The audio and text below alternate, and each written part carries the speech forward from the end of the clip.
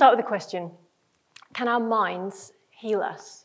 We know that negative states of mind, such as stress, can make us ill. But what about the reverse? Can our thoughts, emotions, beliefs make us better? Now, this can be a very polarized debate. Alternative therapists often present the mind as some sort of miracle cure, whereas skeptics from conventional science and medicine tend to dismiss the whole idea of healing thoughts as deluded, dangerous quackery.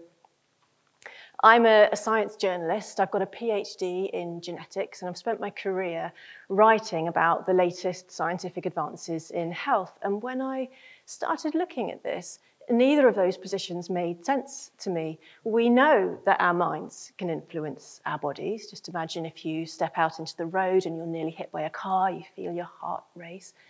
But that doesn't mean that our minds can cure anything that we want. So for the last few years, I've been interviewing researchers, doctors, and patients to find out what the science says about how our thoughts influence our health. And today, I want to give you just a few examples of what I found from symptoms that we experience to the physical progression of disease. So I want to start with one of the women that I interviewed, Bonnie Anderson from Minnesota. And she told me how a few years ago, she slipped over on wet kitchen tiles and fractured her spine. And she was left in a lot of pain after that. She wasn't able to do the dishes, she couldn't play golf, she couldn't sleep at night. So she took part in a trial of a promising surgical procedure called vertebroplasty. It was wonderful, she told me. I was able to go back to my golfing and everything that I wanted to do. But what she didn't know at the time was that the surgeons acted out the whole procedure. The surgery she received was fake. And she wasn't the only one. There were 131 patients in that trial. Overall, their pain and disability scores almost halved after the procedure, but there was no difference between the ones who got the real surgery and the ones who got the fake surgery. So for these people with fractured spines, the, the procedure worked, but their belief in the surgery was just as effective as the surgery itself.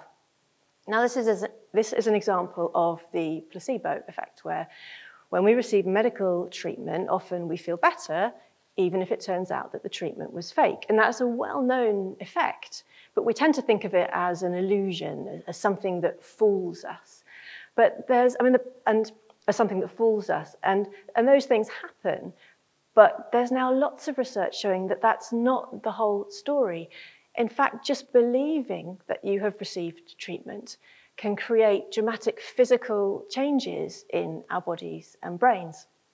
So, for example, if you take a placebo painkiller, that can trigger the release of natural painkillers called endorphins. And that is working through exactly the same biological mechanism as powerful drugs like morphine, which binds to the same receptors as endorphins in the brain. And we get these biological placebo effects, not just when we take placebos, but when we take real drugs as well. Painkillers are much less effective if you don't know that you've taken them.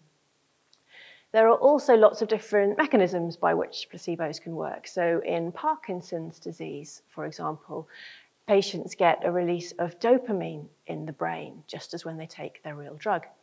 Another example is altitude sickness. So scientists working at this lab high up in the Alps have shown that you can reduce the symptoms of altitude sickness and improve physical performance at altitude using fake or placebo oxygen. This canister is empty. And in all of these cases, beliefs are reducing symptoms by triggering biological mechanisms that are very similar to the changes that are caused by drugs. Scientists think that one of the reasons for this is because symptoms like pain, nausea, fatigue have evolved as warning signs. They're there to alert us if we're in danger. And the brain is constantly calculating what is the appropriate level of any symptom for you to experience, depending on how severe it assesses a threat to be. And the crucial message that's coming out of this research is that that calculation is not just based on the, the physical state of your body, things like damage from injury or infection.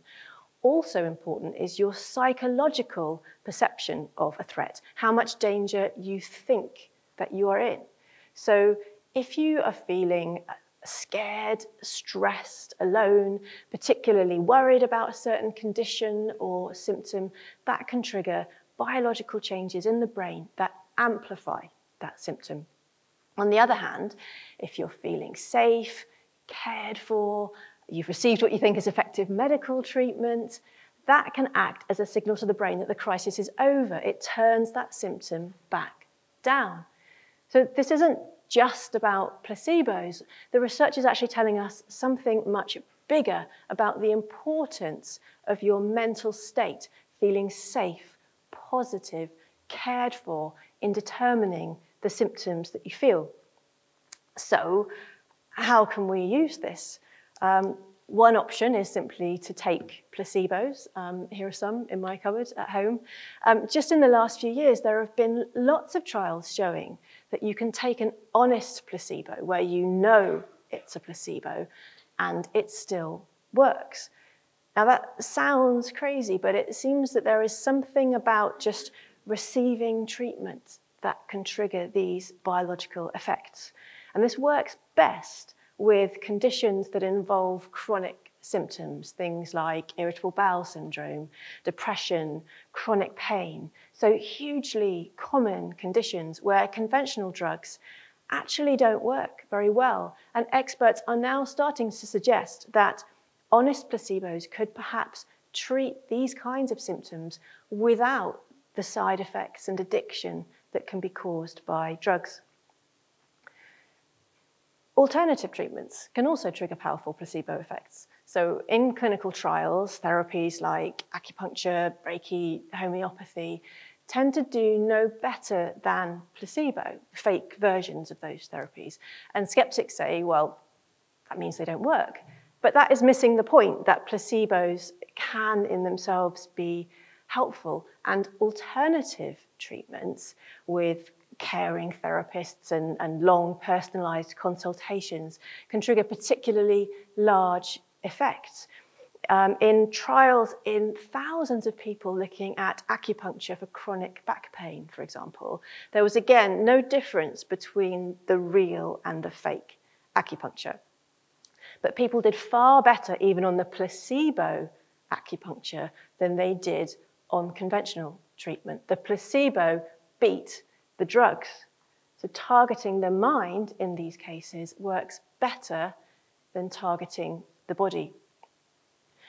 Another approach that scientists are looking at is helping people to feel safe and relaxed as part of conventional medical care. And a nice example of this is a series of trials that was carried out at Harvard University looking at invasive medical procedures, so things like keyhole surgery. People are awake for these procedures and they get local anesthetic and sedative drugs, but those have their own risks and these procedures can still be very distressing. So medical staff changed how they communicated with patients. So they reduced negative language about how much things were about to hurt. They responded to people's requests more swiftly. And they encouraged people to use visualization techniques to help them to relax during the surgery. And the results were impressive. People's pain and anxiety scores were far lower, and they needed only half the normal amount of sedative drugs. And that's not all. That meant that people also suffered significantly fewer complications during the surgery. So things like dangerously high or low blood pressure, prolonged lack of oxygen, post-operative bleeding. So this is not just about feeling better. The Harvard team significantly improved the physical outcomes of that surgery using nothing but words. So, up to now, I've been talking about treating symptoms by inducing changes in the brain, although, as we've just heard, that can in turn have important physical effects. But our thoughts can influence lots of other aspects of physiology as well. So, to demonstrate that, I would like you to take a look at these lemons. So just have a look at the piece in the front there and imagine picking it up and visualize taking a bite. So just sink your teeth into it and suck on that juice. And if you've eaten lemons before, you might start to feel a, tingling at the back of your mouth.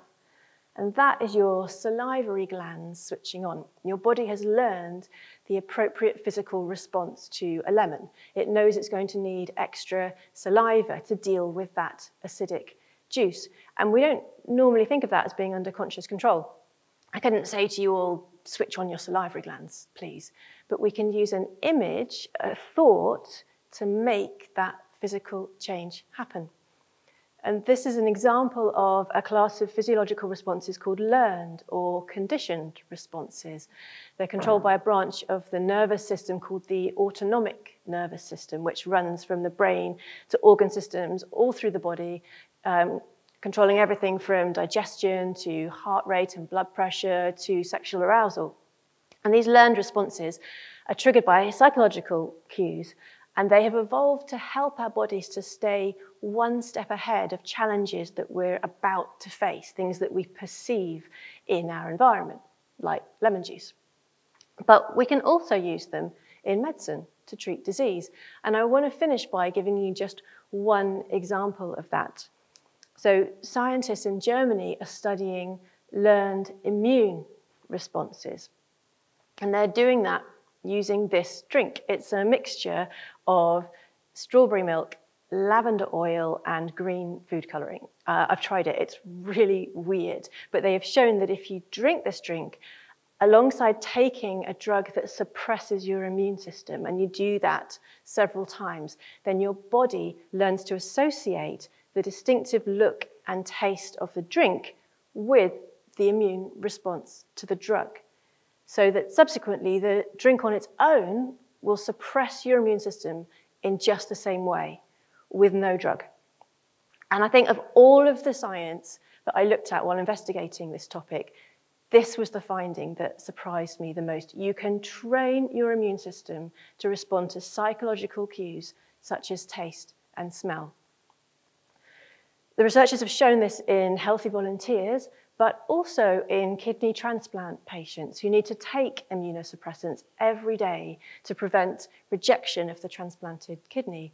And this is really important because the drugs have horrible side effects and they are very toxic to the kidney, as many transplant patients lose their kidneys because of the toxicity of the drugs as from immune rejection.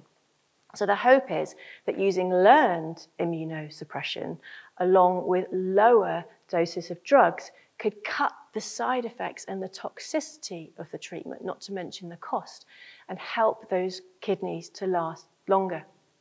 Scientists are also looking at this in allergies and in autoimmune conditions, um, things like arthritis, lupus, multiple sclerosis, which are treated with immunosuppressants, and even in cancer, where some drugs work by modulating the immune system. So just to conclude, People often think of the mind's power over the body as somehow magical and mysterious, if they believe in it at all. But I think that's not right. It's just biology. And that means that the mind is not a miracle cure, but it is something that we can research and understand and use. Just imagine what medicine might look like if we put anything close to the amount of resources into these types of approaches as we do into developing new drugs. Thank you.